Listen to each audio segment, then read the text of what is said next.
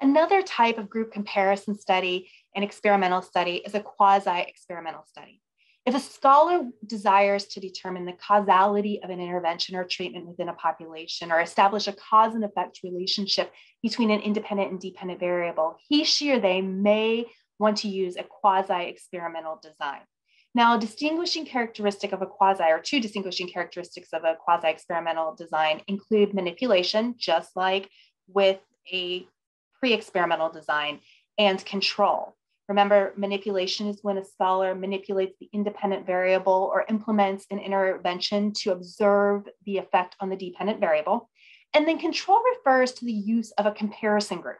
This can be a within comparison group in which the scholar looks at one group over a period of time, or it can be a between group in which a control or comparison group is used.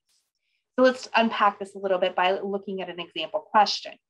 An example question with this type of design may be what effect, if at all, does participation in the You Go Girls STEM program affect high school girls' G STEM GPA while controlling for previous GPA or previous STEM GPA?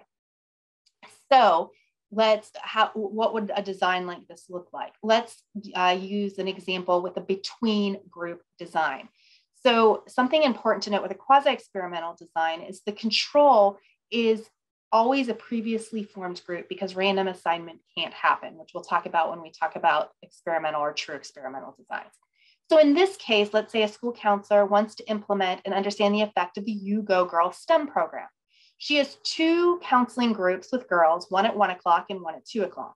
So at one o'clock, she implements the You Go Girl STEM program. And at two o'clock, she does the traditional uh, group counseling program. She then compares these two, the uh, high school girls STEM GPA between these two groups to see if the You Go Girl STEM program, which she manipulated, which she's um, which she's doing the intervention for, if that influences girls' GPA over and above, let's say, or maybe it doesn't, um, the traditional program.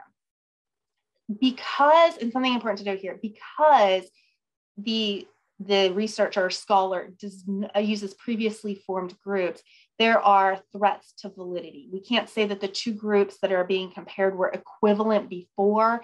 Um, let's say, for example, maybe one, uh, the groups are not similar in ethnicity. They're not similar in their classification of of special education services or weren't uh, equivalent to begin with uh, on GPA. So it's important that some type of control, and uh, that's not control group, but some type of con, uh, control or is um, is used. So here you can see we use a control variable. We're going to statistically uh, we're going to statistically control for GPA, and so we can basically use numbers to say, hey, the groups are equivalent.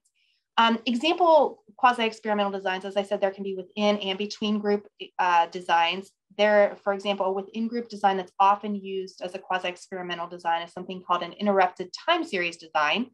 Um, a between group design that's often used is what, what we would use with this, this example question is what's called a pre-test, post-test, non-equivalent control group design.